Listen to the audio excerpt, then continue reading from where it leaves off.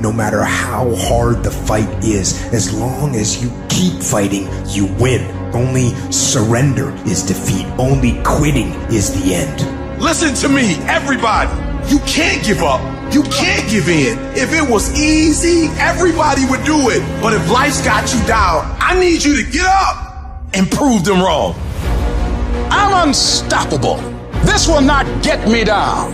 You've got to make those kind of declarations to yourself. I have never met anybody who became incredibly successful in any area of their life until they had suffered and sweated and sacrificed and kept their focus and fought through tears and trials and tests. And if you have a dream and you commit to it, it will come to pass. You must have patience and engage in consistent action.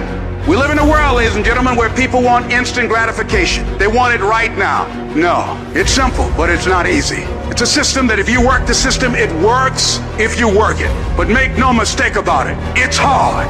And you are the determining factor. The people that make it in this world look around for the circumstances that they want, and if they can't find them, they create them. It's you that you must take personal responsibility to make it happen. It's hard. No, easy is not an option. However, ladies and gentlemen, what you will discover is it's worth it. Now listen to me. I don't care if you're sick.